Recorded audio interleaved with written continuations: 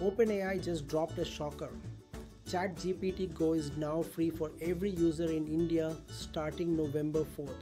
ChatGPT Go runs on GPT 5. Faster speed, longer memory, higher limits, file uploads, image generation, and custom GPTs. Launched at 399 rupees monthly in August, India's paid subscribers doubled in weeks. Now it's free, changing the global AI game. It looks generous, but it's genius. OpenAI turns India into the world's biggest AI testing ground. With China out of reach, India's 1.4 billion are the next billion AI users. This move owns the future. Premium AI just became free for a nation. Will India create with AI or just consume it? Follow for AI insights.